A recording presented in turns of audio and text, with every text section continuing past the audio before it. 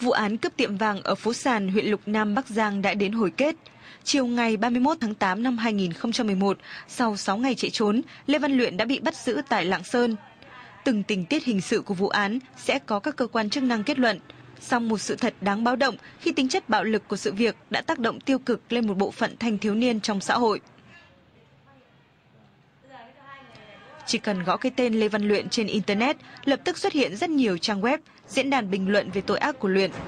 Những bản nhạc chế, tranh chế và game ăn theo Luyện lan truyền trên mạng với tốc độ chóng mặt. Thậm chí một nhóm thanh thiếu niên tại tỉnh Quảng Nam đã thành lập blog với tên gọi Sống về đêm, tự nhận là đàn em của Lê Văn Luyện và tung lên blog này những hình ảnh đầy bạo lực. Các nhà xã hội học và tâm lý học cho rằng sự thiếu định hướng từ các phương tiện truyền thông đã vô tình tiếp tay cho các hành vi lệch lạc trong giới trẻ. Vốn dĩ của xã hội hiện nay, chúng ta thấy một xã hội mở, rất nhiều các thông tin, rất nhiều các kênh khác nhau để các em tiếp nhận những thông tin và những hiện tượng trong đời sống xã hội khác nhau, đặc biệt cả những hiện tượng những cái nền văn hóa xã hội đen chẳng hạn, bạo lực, kích dục ờ, và các trò chơi game mà nó kích thích cái cái cái, cái bản năng của con người à, ờ, khi mà những đứa trẻ đấy nó bị phát triển lệch lạc thiếu hụt và không có sự chăm lo đầy đầy đủ của gia đình thì đứa trẻ sẽ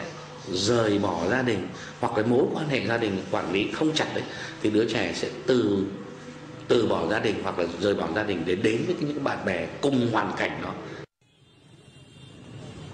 trong đợt cao điểm đấu tranh chấn áp các loại tội phạm và tệ nạn xã hội của Công an thành phố Hà Nội đã cho rất nhiều đáp số. Đáp số này nằm trong cốp xe của rất nhiều thanh thiếu niên khi hành trang mà họ mang ra đường không phải là sách vở, dụng cụ lao động mà là gươm đao và mã tấu.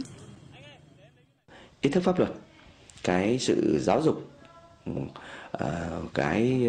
ờ, cái xã hội hóa cho các thành viên trong xã hội theo cái định hướng giá trị ờ, chân thiện mỹ những cái giá trị tốt đẹp từ trước nay chúng ta vẫn nghĩ rằng của một cái xã hội ưu việt như chúng ta là nó buông lơi và nó đạt hiệu quả uh, thấp. Này cái sân chơi của các em quá quá đẹp. Chúng ta nhìn bất kể một cái trường nào việc tổ chức cái hình thức vui chơi các hoạt động khác ngoài hoạt động trên lớp